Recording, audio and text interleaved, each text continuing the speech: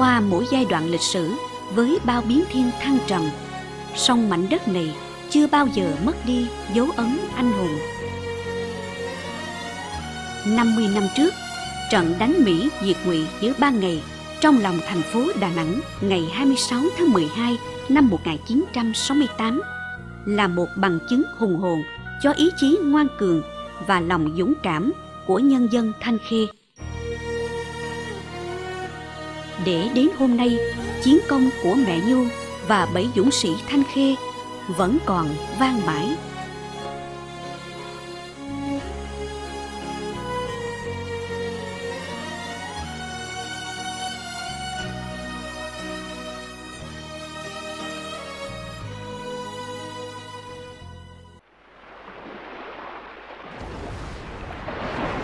Năm 1965, quân viễn chinh Mỹ ồ ạt đổ bộ vào Đà Nẵng, xây dựng Đà Nẵng thành căn cứ liên hợp quân sự lớn nhất miền Trung và tăng cường lực lượng càn quét, chiếm đóng.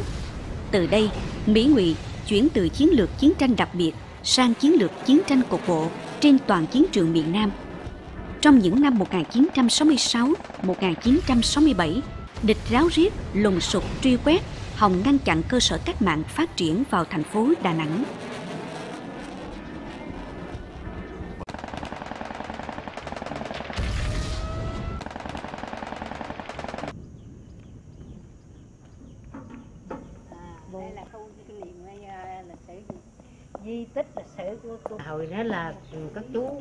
Cứ xuống ở đây. Cô chỉ có nhiệm vụ á, là đem thư dưới thành phố lây và đây đi nhận thư xuống. Con vang đó, con vang như hầu như con vang. Ở quán mẹ muốn tay đây nè. Rồi mình cuốn ra cái khang cái mình cầm đây thôi, chứ không phải gì trừ mà cái bị thư to như đó là xung quanh đó là địch nó đám ấy. Chỉ có riêng cái số nhỏ này á. Địch đấy, nhưng mà không có phá không có lục soát bởi vì sót cái cất đồ địch nghĩ là sống đây an toàn cho nên cho nên có công bộ mình để ở đây đó yeah. ừ. đã nửa thế kỷ trôi qua song anh hùng lực lượng vũ trang Nguyễn Thị Tám vẫn nhớ như yên cái không khí khủng bố khốc liệt sau cuộc tổng tiến công và nổi dậy xuân Mậu Thân 1968. Nhiều cơ sở nội thành của ta bị lộ, bị vỡ giữa vòng vây lùng sục ngày đêm của kẻ thù, căn cứ lõm B1 Hồng Phước vẫn là nơi kiên cố, vững vàng để nuôi giấu, che chở cho cán bộ chiến sĩ quận nhì hoạt động và chiến đấu. Lúc đó, đội biệt động quận nhì gồm 8 người, Trung, Huệ, Tám, Phương, Mười, Chi, Năm và Lữ Hùng do đồng chí Đặng Đình Vân, còn gọi là Bảy Vân, chỉ huy lực lượng vũ trang quận nhì tổ chức đào tạo và chỉ đạo. Được đồng chí Nguyễn Thanh Năm, còn gọi là Năm Dừa, đưa về bố trí ở hai hầm bí mật của cơ sở cách mạng ở Thanh Khê. Đội chia làm hai nhóm, ở hầm bí mật nhà mẹ Nhu và mẹ Hiền. À, anh Trung, Trần Thanh Trung, anh Phương, rồi trời là Xuân Hà. Căn nhà của mẹ Nhu nằm trong một con hẻm nhỏ đường Trần Cao Vân,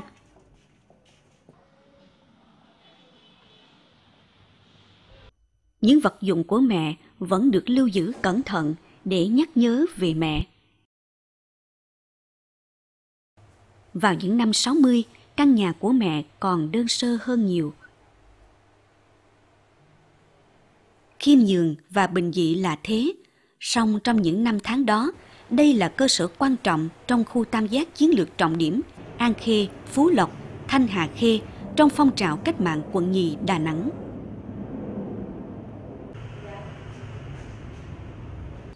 Tại đây, con trai và con gái của mẹ vẫn ngày đêm hương khói chăm sóc một phần. Mẹ Nhu tên thật là Lê Thị Dảnh, sinh năm 1914, mất năm 1968. Sinh sống ở phường Thanh Lộc đán thành phố Đà Nẵng, tỉnh Quảng Nam Đà Nẵng. Nay là phường Thanh Khê Đông, quận Thanh Khê, thành phố Đà Nẵng. Mẹ thì nói chung là cần cù lắm, người thì thấp bé. Ba cô là ông bị bệnh mà. Ông không đi làm như được. Chỉ có mẹ nhà tầng tảo buôn bán rồi chăm sóc con cái. Ừ, nhà mẹ con cô là hồi nó sáu anh em hết thảy. Mẹ là một người mẹ bình thường như bao người mẹ khác trên đất nước Việt Nam. Nhưng mẹ có người con trai là anh Phạm Phú Long sớm giác ngộ cách mạng, đã đứng trong hàng ngũ của đảng. Tin con, thương con và có cảm tình với cách mạng. Mẹ Nhu bất chấp hiểm nguy và sự khủng bố của địch để tự tay đào những căn hầm bí mật nuôi giấu con mình và cán bộ.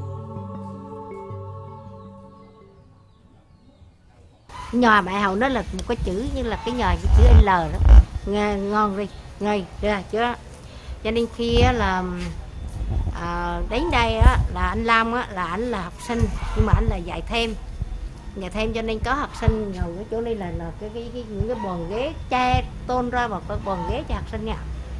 Học. Đó là cùng cái là điều kiện là có người đi vô đi ra nhà mẹ cho nên mình cũng rất là dễ. Ở đây là anh năm mình mới đi anh Năm vừa về ở đây trước mẹ mới bảo là thôi thì ra ngồi đi á đồ một cái hầm đồ một cái hầm ở ngồi đi à, cho anh Nam anh ở thì cái hầm này á là đây là vỏ là một cái hầm là núp phố mà nước nhiều lắm ở vùng đến sâu nước lắm. Cho nên khi mỗi lần à, anh tối là Nam lên là ướt hết đồ nên mà mẹ mới nhu mới gọi là thôi bây giờ tụi bay um, vô trong nhà đi đồ cái hầm trong nhà đi vô trong đi để cho anh nam anh ở cho tội. Từ là đây là cái mẫu thì chứ không phải hầm mà miệng to đi thì bọn địch nó biết liền chi.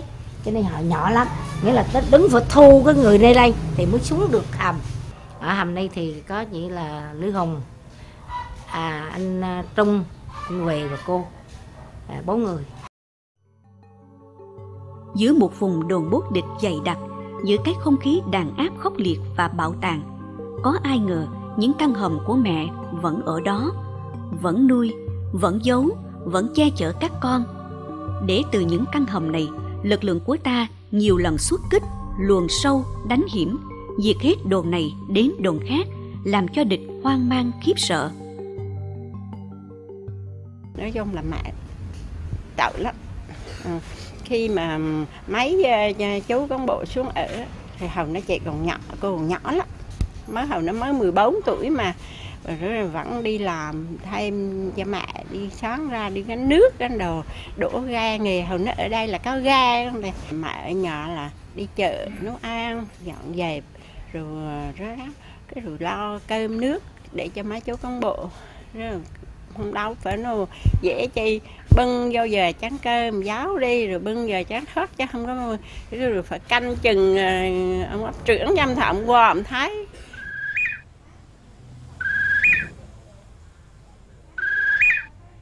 Đó là một ngày lịch sử cách đây vừa tròn 50 năm, ngày 26 tháng 12 năm 1968. Buổi sáng hôm ấy, nhà mẹ Nhu bình yên quá đổi, không hề báo trước những diễn biến khốc liệt tiếp theo.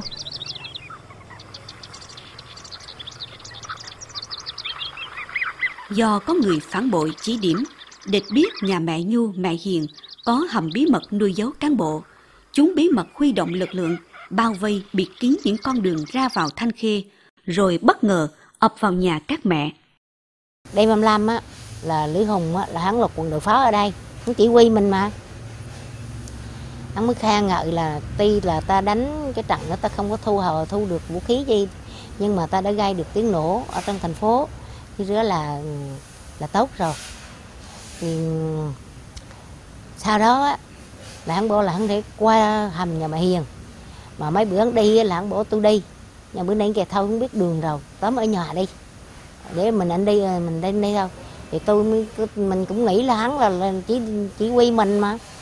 Ở giờ hắn lên đồng cảnh sát ngõ tư thanh khê thì ngay chỗ tượng đờ mẹ đó họ nói cái đồng cảnh sát đó đầu hoàng địch. Mà mình không hề biết gì sáng ra là thấy đủ rồi lính ấy biệt động quân cảnh sát và chiến cảnh sát như là đầy ở trước sân nhà mẹ nhu rồi. Đánh Lan rồi có lần bố lưa anh Long đi. Tiện vô đánh mẹ Nhu. Đánh ghê lắm. Mẹ mẹ cũng không cơ mẹ lúc đó là bọn tôi ngồi dưới hầm á rất là là lo dễ sợ luôn. Là mẹ cũng bảo vệ cho mình, nhưng mà bây giờ mình cách nờ mình để mình lên mà mình bảo vệ mẹ, thì trời không có cách nào mình mình ở dưới thế bị động rồi. Hồi đó là có hơi phương án. Một là thủ tiêu chiến đấu, hai là tung lên đánh. Thì cả, tôi có một cái ảnh bác hồ là thì chúng tôi hứa với bác hồ là chúng tôi sẽ chiến đấu đến cùng. Khi đó là nghe mẹ mẹ chửi lan câu là tao ở đây mà nuôi cộng sản thì tụi bay là đồ ăn hại. Cái con già này cứng đầu. Bán con chết cho bán đi. Là một loạt là ngay mẹ ngã xuống. Ôi hồi đó là mình không biết làm sao nữa hết trơn cả. Không không nghĩ ra mà là mẹ là là là là, là, là không bán như thế.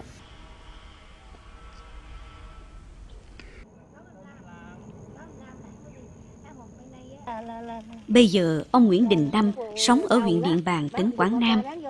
Tuổi cao, nhiều bệnh tật, ông không thể nhớ hết những chuyện đã xảy ra trong quá khứ. Nhưng ký ức về trận đánh ngày 26 tháng 12 năm 1968 thì dường như vẫn còn tươi mới, vẹn nguyên. Ngày đó, trong khi các đồng chí Trung, Huệ, Tám ẩn ở nhà mẹ Nhu, thì ông cùng với các đồng chí Phương, Mười Chi trú ở nhà mẹ Hiền, cách nhà mẹ Nhu không xa. Địch sau một hồi tra hỏi, lục soát nhà mẹ Hiền mà vẫn không tìm được hầm, chúng bắt mẹ và con gái mẹ đi. Anh em bên nó nổ sống thì ờ, thì bên này là chuẩn bị đó thôi chứ cũng chưa biết cách này để coi thử tình hình xem tình hình địch nó nó nó nó nó triển khai của địch như thế nào rồi mình mới có cái cách đối phó thì ra khi đó thì đến ờ, uh, tối giờ kém khoảng kém 15 thì địch đánh rồi ờ, một số cất bớt nông dân ở đó nữa. Thì đánh là địch bác các con nông dân đánh là khui công sự ở đó. Khi mà lùa cái cái cái cái, cái hầm ra đó thì cất bớt mới loa lên tới rồi tới rồi. Đó. Thì địch địch thì lúc đó cũng không dám nhồi vô đâu. Thì trả hết cho ngồi luôn thì gia dân đó rồi nó có bớt nông dân rồi địch rồi cũng trả hết cho ngồi chứ không dám đứng đó luôn. Thì khi đó thì có ba bốn thằng cảnh sát giả chiến rồi bò vô. Thì bò vô thì à, tôi ở dưới hầm rồi tôi vừa phát hiện là tôi tung lên liền. Tôi đánh cho hết tới rồi đoạn. Địch lui ra anh em dọc lên dọc lên khổ miệng hầm. Thì uh, lên nhà trai thì cố thủ trên nhà trai từ tốn giờ thẳng tới 12 giờ. Khoảng ba rưỡi bốn giờ gì đó. Thì anh em ở bên nhà mẹ hiền rồi triển khơi qua nhà mẹ nhu đó là để xem tình hình như thôi qua đánh nhà mẹ nhu thì thấy mẹ nhu làm nó bán mẹ nhu hay là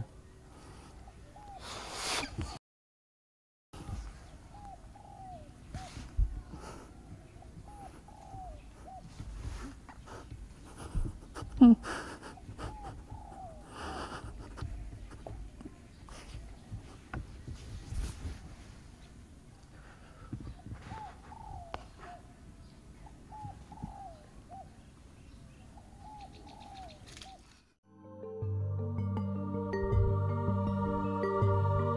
Nhu đã hy sinh, mẹ Hiền đã bị bắt, tình thế hiểm nguy ngàn cân treo sợi tóc nhưng trận chiến vẫn tiếp tục diễn ra quyết liệt.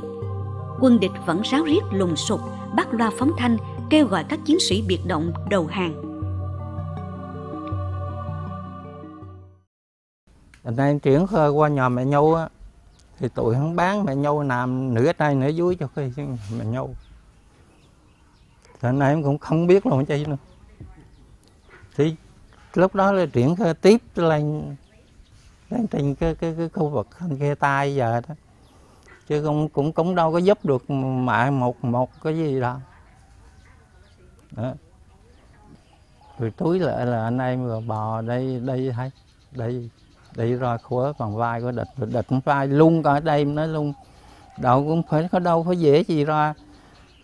Ra mà bò ra tới khai là là khó khăn lắm chứ không phải như ở vùng giải phóng không có cái đường này thôi, có cái đường khác. Biển ngoài nó chỉ có một cái đường duy nhất chứ thôi. Bắt đầu ông sam hầm. Ông sam trúng cái lỗ thùng hơi cái à đây rồi, trúng rồi đây rồi. Anh quỳ nhả lên trước bán tung ra bán tung ra. Quân hậu nó là ở trên cái nhà, nó lẫn cô, mình ở dưới này thấp lắm. Ở trên nó bán xuống nó ném vô hơi quả lựu đòn cay hồng lẫn bắt sống mình á. Nhưng mà khi rút được mấy cái khen rồi, có chạm nước nó nhảy qua nhà này. Tôi đến bật xuống biển thì hầu nó là anh về bên trong ảnh cũng cứ yểm hai người trước trả trước qua bên cái nhà kia rồi á là yểm trợ cho hai người sau qua. Thì đánh hầu đó là anh về bị thương. Anh Quyền Thương thì bọn lính nó, nó mới đánh theo dấu máu. Bọn bác hơi cụ dò nó là đi theo cái đường dấu máu đó hắn đi sau. Thì ừ, anh về anh đi được đoạn đầu thì anh nói là thôi anh không đi được nữa à, đưa đây cho anh thêm hơi lựu đoạn nữa để anh làm đây. Anh chiến đấu đến cùng cho còn anh không đi được nữa. Giờ anh mệt lắm rồi. Mà máu trả được tôi thì vừa bô đoạn mà vừa là dìu anh mà hồi đó là đã lấy được cái chất pin quái nữa. Tôi là đi cái chất pin nữa. Thế thì anh bảo thôi dùng chất pin đi. Dùng cái AK này đánh cho nó uy hiếp hơn. Thế thì tôi lấy cái AK tôi đưa anh đoạn mà tôi không chịu đi. Anh xô tôi đi. Đi đi. Hắn đánh gần lấy đầu hắn gần lấy đầu thì anh nằm đó.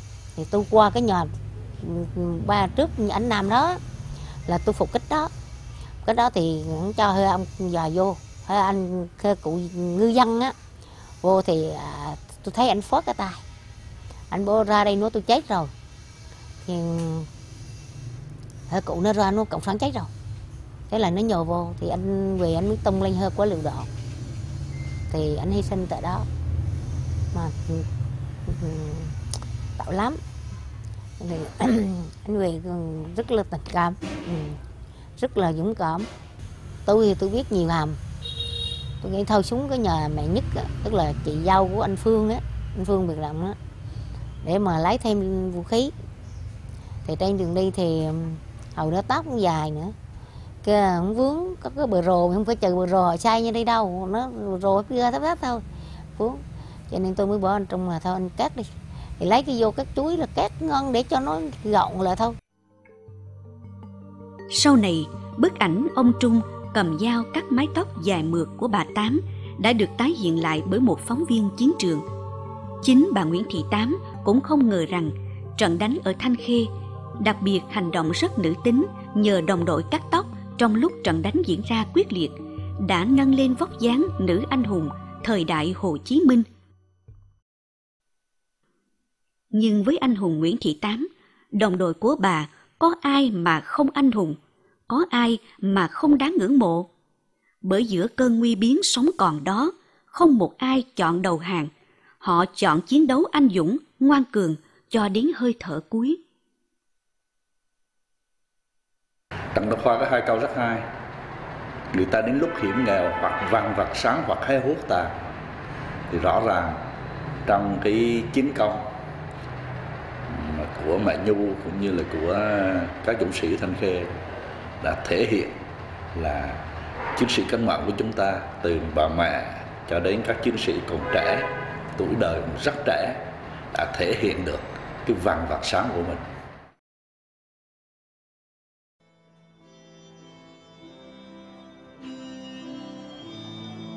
50 năm đã trôi qua, nhưng trận đánh huyền thoại của đội biệt động quân nhì ở Thanh Khê cùng với tấm gương hy sinh đầy quả cảm của mẹ Nhu, mẹ Hiền đã khắc sâu vào lịch sử đấu tranh cách mạng của nhân dân Thanh Khê anh hùng, những dấu ấn không thể phai mờ.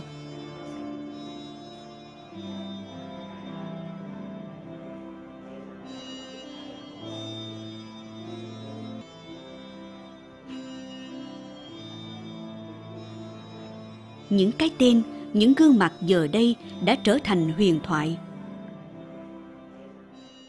Cùng với mẹ Nhu, mẹ Hiền, bảy cái tên Nguyễn Văn Mười, Nguyễn Đình Năm, Trần Chi, Nguyễn Văn Phương, Trần Thanh Trung, Nguyễn Thị Tám, Nguyễn Văn Huệ đã trở thành biểu tượng sáng ngời của chủ nghĩa anh hùng cách mạng không chỉ của một vùng đất Thanh Khê. Rất tự hào đã là người đứng đầu tổ chức đảng ở một cái địa phương mà có được một cái chiến công vang dội như vậy nó thể hiện được khí phách của người quận nhì. Quận nhì nhưng chưa bao giờ chịu lùi xuống tiếng ha. Quận nhì nhưng mà bao giờ cũng xung phong trên tuyến đầu chống mỹ. Ngày nay câu chuyện về chiến công mẹ nhu và bảy dũng sĩ thanh khê vẫn còn được nhắc mãi. Khu lưu niệm cũng chính là ngôi nhà nơi chở che các con của mẹ, nơi mẹ đã dũng cảm hy sinh để bảo vệ các con, đã trở thành di tích lịch sử quốc gia.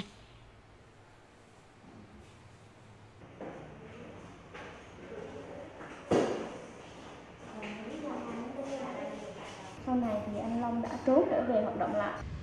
Trải qua nhiều lần phục dựng, tôn tạo, khu lưu niệm mẹ Nhu ngày nay thường xuyên đón những đoàn khách đến thăm và để được nghe kể lại chiến công của mẹ và bảy dũng sĩ, rằng với trận đánh đó ta đã làm nên một huyền thoại. Chúng ta ở đây là thấp xưa thì rất là nhỏ, cho nên là chỉ có ba người có thể trú ẩn được thôi.